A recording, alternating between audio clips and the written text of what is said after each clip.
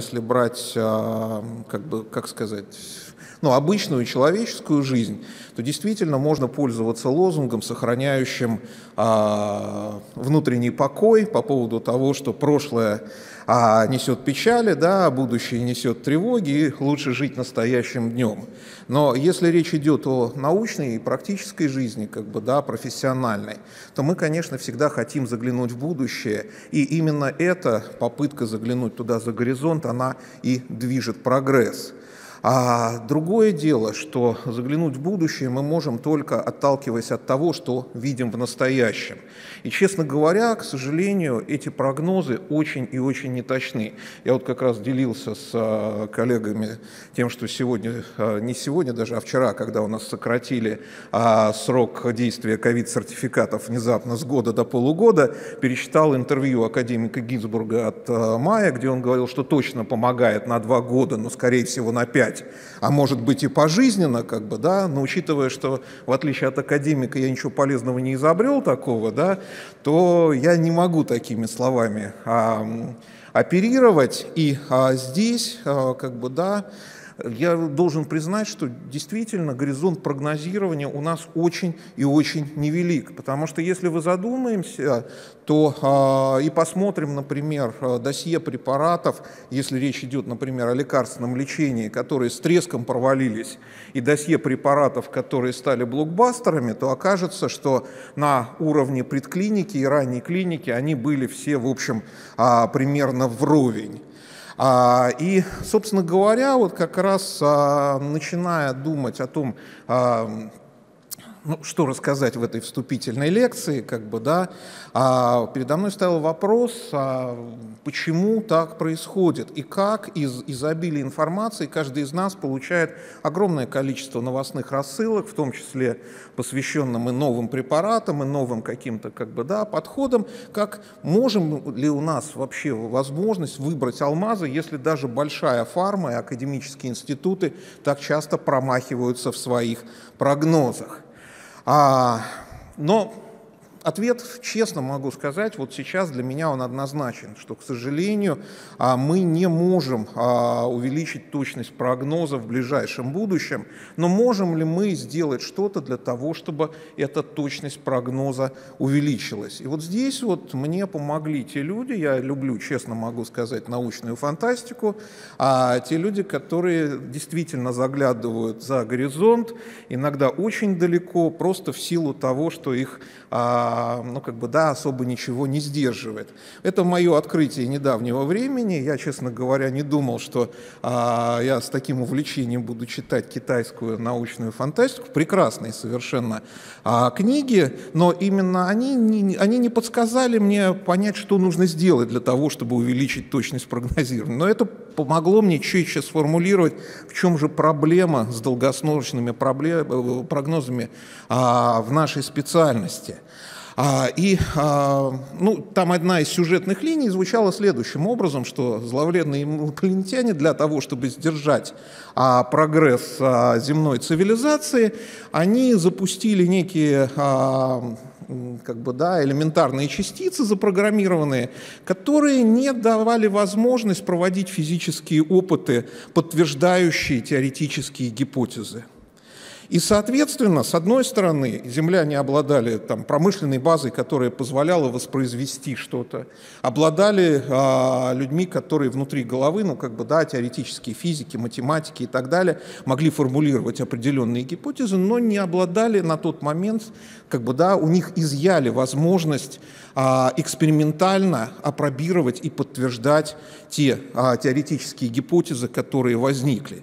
И вопрос в том, что это действительно сделало невозможным прогресс науки, потому что проверять сразу в практике, в широкой практике любую теоретическую гипотезу, это очень тяжело, это очень опасно, особенно если речь идет о физике или если речь идет на самом деле о медицине.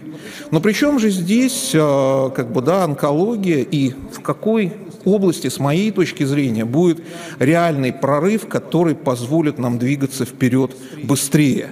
Фундаментальной, фундаментальной науке, но на самом деле фундаментальных исследований у нас уже очень и очень много. Объем, который сгенерирован а, людьми, изучающими геном клетки, эпигеном клетки, а, сигнальные пути и так далее, он огромен. Это вы, в одном сигнальном пути как бы, да, там человек может оставаться всю свою жизнь и открывать все новые и новые участки этого сигнального пути. А и здесь мы видим, честно говоря, периодически феерические прорывы, но они, к сожалению, абсолютно непрогнозируемы. То есть мы заранее не можем сказать, какой из а, прорыв, где, какая методика окажется прорывной. И, с другой стороны, мы обладаем уже очень хорошим инструментарием, который позволяет адаптировать практически любую методику, которая к нам придет. Проблема в том, что при таком объеме теоретической базы и мощностях клинической медицины у нас есть огромные проблемы с доклиническими и клиническими исследованиями. Кто лучше, чем Джуда Фолкман, человек, который как бы, да, является отцом теории ангиогенеза, характеризует проблемы с а, предклиникой. Если бы вы были мышью, то я вас бы обязательно вылечил. Да? Ну или там в другом интерпретации вы мышь, у вас рак, я вас вылечу. Мыши выздоравливают прекрасно. Клеточные линии гибнут одна за другой. Да?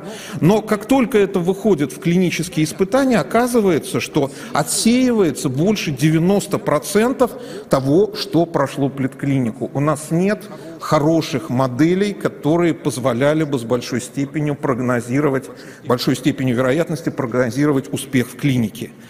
Но это еще полбеды. Если бы у нас была система, эффективная и быстрая система отсечения этих неудачных гипотез в клинике, тогда бы мы тоже двигались быстро. Но, к сожалению, получается, что и система клинических испытаний, которая появилась тогда, когда у нас было один, два, три, четыре препарата, и можно было проводить большие рандомизированные исследования, а когда их было один, два, три, как бы, да, они большими и не были, потому что по сравнению с отсутствием лечения а, в общем, достаточно легко можно было добиться эффекта. То сейчас, когда нужно тестировать тысячи гипотез, приходящих из предклиники, и отсеять из них 90%, система клинических испытаний оказывается малоэффективной. А, и поэтому мы на самом деле действительно ждем годами результаты клинических исследований и до конца никогда не знаем, а, будут ли они успешны или нет.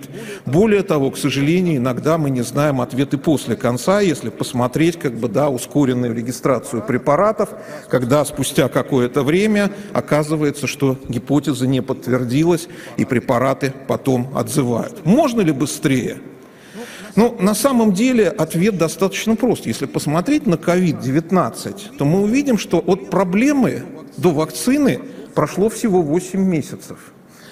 Первые случаи были в 2012-2019, как бы, да, первые вакцины были зарегистрированы в августе 2020. И это явно, что здесь система доказательной медицины и вот этой громоздких исследований немножечко подвинулась.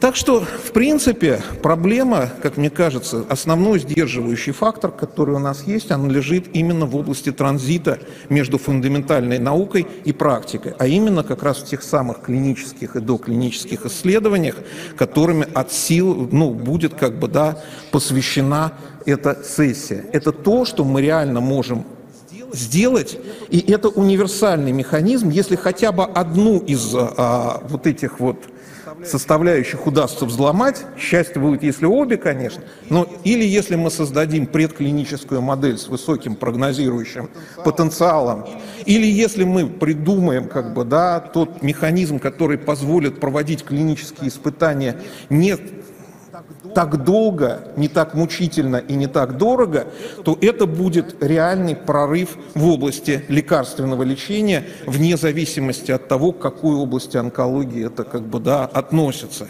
Так что, если ускорить хотя бы один из компонентов этой трансляции, то я думаю, что мы можем бежать со скоростью даже 70 км в час. Спасибо. Спасибо.